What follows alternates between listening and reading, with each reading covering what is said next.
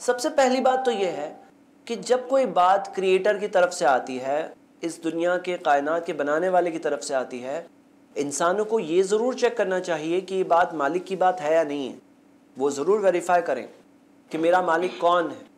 उसने किसे बनाया, किसे चुना, और वो देखने के बाद फिर उस शख्स को क्या चाहिए कि वो उस पर ईमान लाए और ईमान लाकर उसी चीज़ पर कायम रहे। तो हम ये देखते हैं कि मिसाल के तौर पर एक शख्स है जो कोई चीज़ को नहीं समझ पाता खुद, उसकी विजडम उसे क्लिक नहीं हो रही है।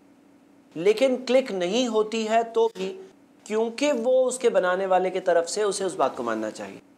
जैसे अगर मैं आप सबको एक मिसाल दूँ, मिसाल के अंदर हम ये देखेंगे कि आज जाकर साइंस को पता चला और कुछ दिनों पहले तक हम लोग थोड़ी एक ओल्ड स्टडी बताते थे कि खंजीर का गोश्त खाने से 70 अलग अलग बीमारियाँ होती हैं।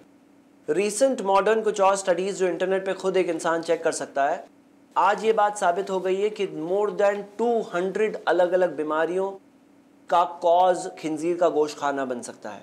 यानी कोई पोर्क खाता है तो उससे 200 अलग अलग टाइप की बीमारियाँ हो सकती है इंक्लूडिंग तकरीबन 18 अलग अलग किस्म के वर्म्स जो हम देखते हैं कि 18 अलग अलग किस्म के वर्म्स ये बीमारियाँ हो सकती है पोर्क खाने वाले को।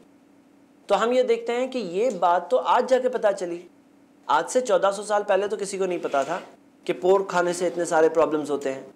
फिर भी जब कुरान ने हराम कर दिया सुर मायदा सुरा पाँच, आयत नंबर तीन, हुर्रमत वदम वलाहमुल खंजीर वमा उहिल्ला भी लगैर हराम है तुम्हारे लिए मरे हुए जानवर का गोश्त, खून, खंजीर का गोश्त, और वो जिस पर अल्लाह के अलावा किसी और का नाम लिया गया। जब ये कुरान की आयत आ गई तो सारे ईमान वालों ने 1400 साल से खंजीर का गोश्त खाना छोड़ दिया। नहीं खाते। चिकन खाएँगे, मटन खाएँगे, मच्छी खाएँगे, खंजीर का गोश्त नहीं खाएँगे। आज जाके पता चला 1400 साल के बाद के 200 अलग अलग बीमारियाँ होती है। ये बात उन्हें थोड़ी पता थी। और बीमारियों के जानने की वजह से थोड़ी छोड़ा उन्होंने ये बात और इस ईमान से छोड़ा कि जब मेरे बनाने वाले ने कहा है, ये नहीं खाना, ज़रूर मेरे लिए ही कुछ भला है, ज़रूर हमारे लिए ही उसमें कुछ बेनिफिट है। कि हमारे बनाने वाले ने कहा है, ये मत करना। तो कुछ तो वजह है जो क्रिएटर जानता है। अब उसी तरह हम ये देखें कि जब उस रब ने इतने सीरियस अल्फाज में कहा कि सूद का लेन देन नहीं करना, तुम मोमिन हो तो। अगर करोगे तो जंग का ऐलान सुन लो। ये गुनाह इतना सीरियस गुनाह है। तो एक ईमान वाला जिसने ईमान लाया है कुरान पर, जिसने ईमान लाया है मोहम्मद सल्लल्लाहु अलैहि वसल्लम पर, उसके लिए यही बात काफ़ी है कि ये बात क्रिएटर की तरफ़ से आ गई। एक और मिसाल लेते हैं। सर्कमसिजन खतना खतना करने में इतने सारे मेडिकल बेनिफिट हैं इतने सारे इन्फेक्शन से एक इंसान बच सकता है इतने सारे प्रॉब्लम से यहाँ तक आके वो ऑर्गन का कैंसर यहाँ तक आके जो शख्स सर्कमसाइज नहीं है उसकी वाइफ को भी वूम कैंसर होने का चांस बढ़ जाता है स्टैटिस्टिकल सर्वे से पता चला है वेस्ट में आज ये एक स्टैंडर्ड प्रोसीजर है कि बच्चा पैदा होता है तो उसे सर्कमसाइज कर दिया जाता है इसलिए नहीं कि वो लोग ईमान लाते हैं, इसलिए नहीं कि वो मानते हैं, मोहम्मद सल्लल्लाहु अलैहि वसल्लम ने कहा कि खतना करो। लेकिन इसलिए कि उन्होंने उसके मेडिकल बेनिफिट्स देखे हैं। ये अलग बात है कि कुछ लोगों ने अपने धर्म की इसे निशानी बना ली है। इसी वजह से हमारी कंट्री में आज भी जो एक बिल्कुल अनबायस्ड तरीके से इस बात को एक्नॉलेज करना चाहिए था, वो बहुत ओपनली लोग एक्नॉलेज नहीं कर रहे हैं, क्योंकि वो एक रिलीजियस बिलीफ से कनेक्ट हो गया है।